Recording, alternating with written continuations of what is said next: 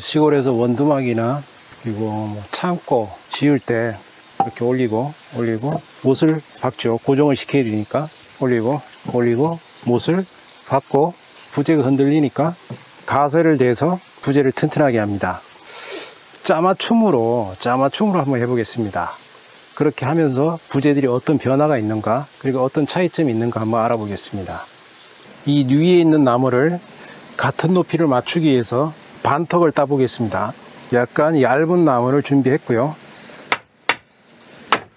같은 높이가 됐네요. 못을 받게 되면 움직이겠죠. 자, 여기서 한 걸음 더 나가 보겠습니다. 이런 모양의 어, 사계 장구를 만들어서 끼워 볼게요. 아까보다 튼튼하겠죠. 근데 제가 이거 음, 약간 헐렁하게 했어요. 지금은 헐렁하게 했기 때문에 놓습니다 이렇게. 장부는 어떤 장부든 간에 빡빡하게 들어가야 됩니다. 빡빡하게 들어가는 것이 가세 역할을 하는 겁니다. 이렇게 되면 가세 역할을 못하는 거죠. 이 흔들리는 것을 잡기 위해서는 옆에서 꽉 눌러줘야겠죠.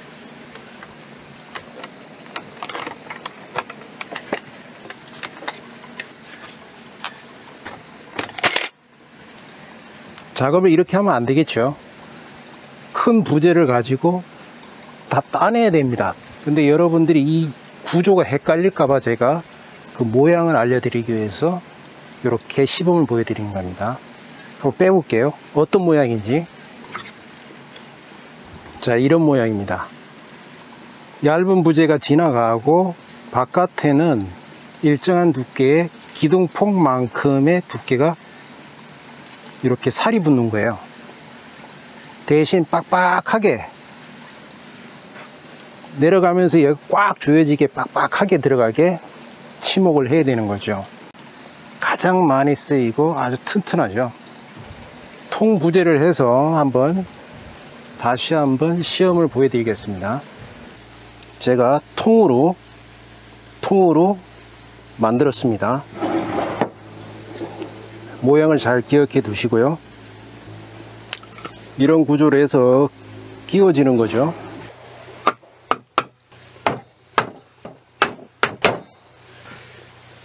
이런 물림 구조, 4개의 맞춤의 물림 구조 형식이 대표적인 것이 일반 시골의 민가입니다. 한번 보여드릴게요. 자, 이 구조가 제가 조금 전에 실현했던 아, 그 4개 맞춤의 물림 구조입니다. 시골에서 가장 많이 쓰는 대표적인 것이죠. 이 모양 상태에서 어, 테이블을 만들 수도 있고 좌탁도 만들 수가 있는 거죠. 이 위에 상판을 올리면 식탁도 되고 좌탁도 되는 것이요. 원하는 모양으로 재단해서 어떤 식으로 고정을 시키면 테이블이 되는 거죠. 테이블을 만들 때 이런 구조 하는 게 제일 튼튼합니다. 더 이상 가세를 댈 필요가 없어요. 구조물은 수직, 수평, 가세 이 세 가지가 다 형성돼야지만이 튼튼한 구조물이 됩니다. 시골 민가는 어, 기와도 올리지 않고 지붕에 하중이 많이 걸리지 않습니다. 그렇기 때문에 예를 들어서 기와집 같은 경우는 흙도 어마어마하게 올라가고 기와도 올라가기 때문에 일반적으로 수십 톤이 되는데요. 그럴 경우는 이 구조는 좀 약합니다. 바꿔보겠습니다. 자, 이 상태에서 이 부분을 좀 더 따서 띄어낼게요. 사방으로 돌아가면서 턱을 만들기 위해서 그렇습니다. 이 구조는 이 구조에서 더 따낸 거죠. 이렇게 더 따낸 겁니다. 어, 실제로 여기 하중을 여기서만 봤습니다. 이렇게 하중이 여기서만 봤죠. 폭이 좁습니다. 아, 기와집 같은 경우는 그 어마어마한 무게가 기둥으로 다 내려옵니다. 기둥으로 내려오기 전에 이 도리를 타고 내려오죠. 그러다 보니까 도리의 부분을 면적을 넓게 해줘야지 안정적으로 하중을 받습니다. 이런 구조를 하게 되면 아까는 여기만 하중을 받았는데 이런 구조를 하게 되면 여기까지 하중을 받게 됩니다. 더 넓어서 안정적으로 하중을 받게 되는 거죠. 여기서도 잡아주고 바깥에서 또 한번 잡아줍니다. 잡아주는 것이 두 번을 잡아주고 여기 턱이 있기 때문에 턱 물림을 하기 때문에 하중을 또 안정적으로 잡- 안정적으로 받게 됩니다.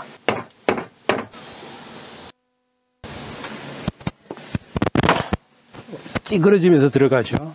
이렇게 들어가야 가세 역할을 완벽히 할 수 있는 거죠. 턱 물림 4개 맞춤이죠.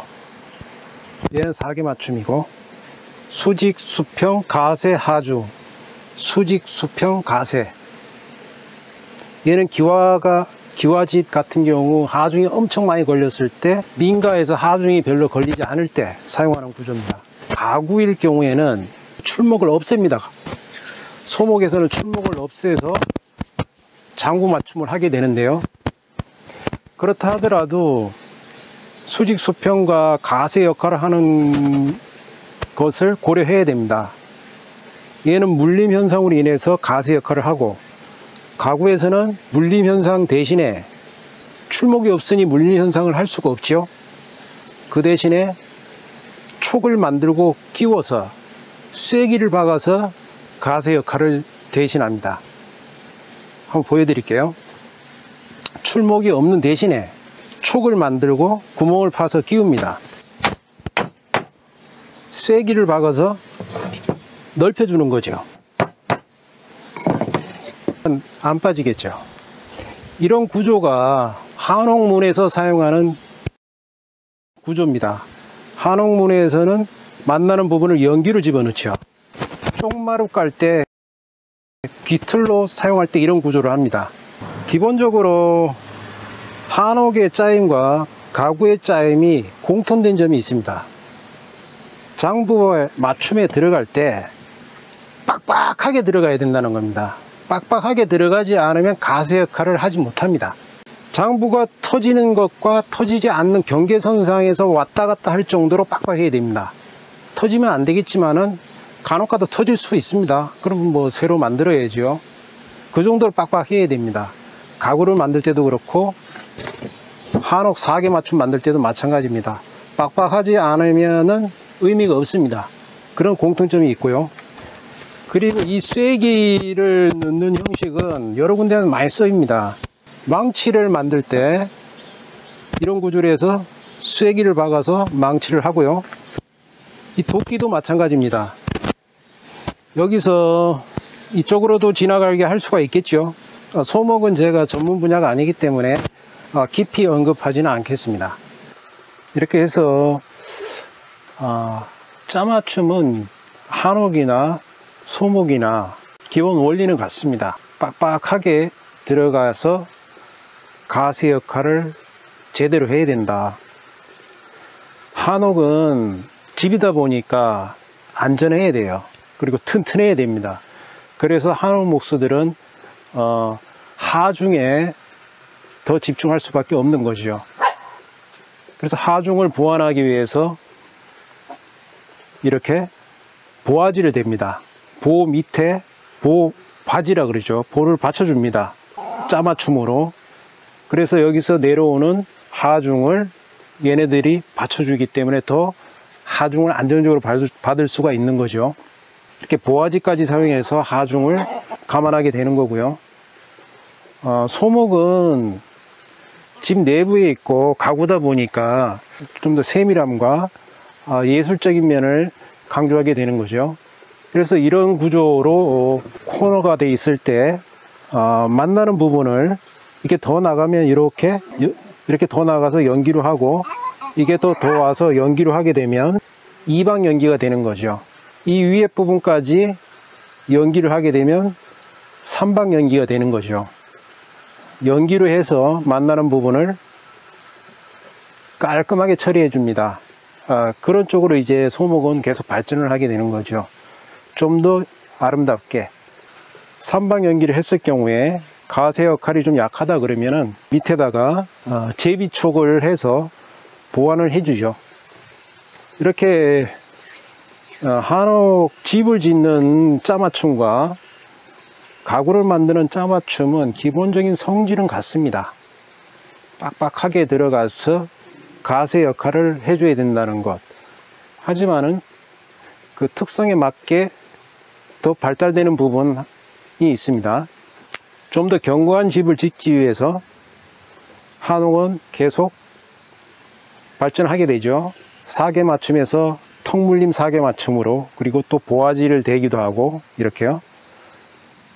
그리고 가구는 단순히 초기 음에서 2방 연기로 가고 3방 연기로 가고 그렇게 점점 더 어, 예술적이고 어, 세밀한 부분으로 계속 확장하게 되는 거죠.